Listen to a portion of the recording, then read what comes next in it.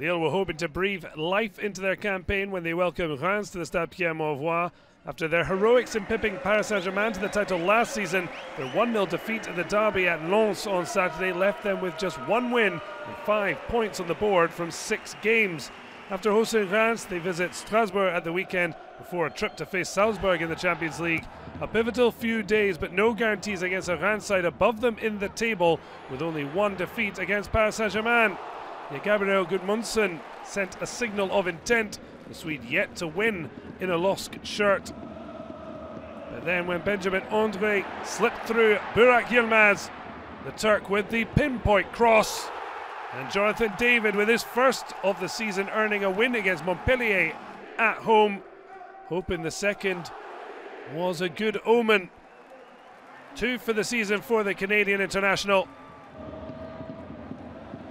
Ikone tried to double the advantage but couldn't get any change out of Predrag Rajkovic. Yet there was to be some shaking loose two minutes before the break. Andre pivotal in the build up to the opening goal.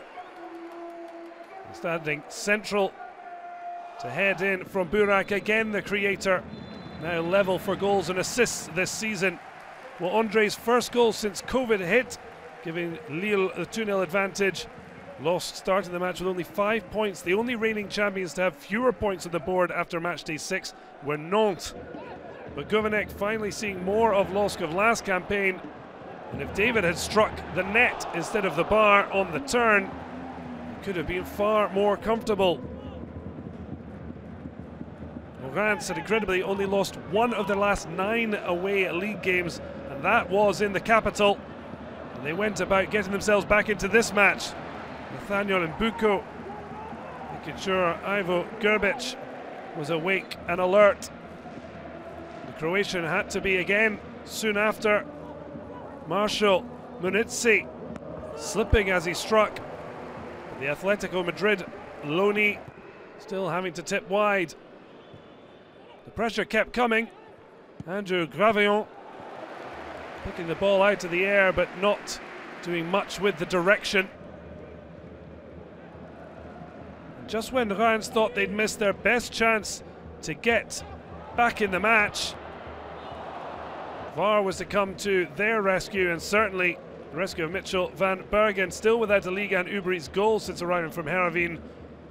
But Johan Hamel, the referee, eventually gave a penalty against Sven Botman for the foul on Munetsi.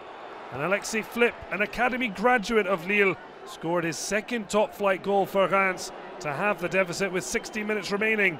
Well, the last time he scored was a 2 all draw away at Nîmes, but it wasn't to be a point earned here. A huge win and a huge roar of relief for Gourvennec. Lille with all three points, but it certainly wasn't plain sailing. Lille face a tough trip to the east to face resurgent Strasbourg, while Reims hope for more at home to Nantes on Sunday.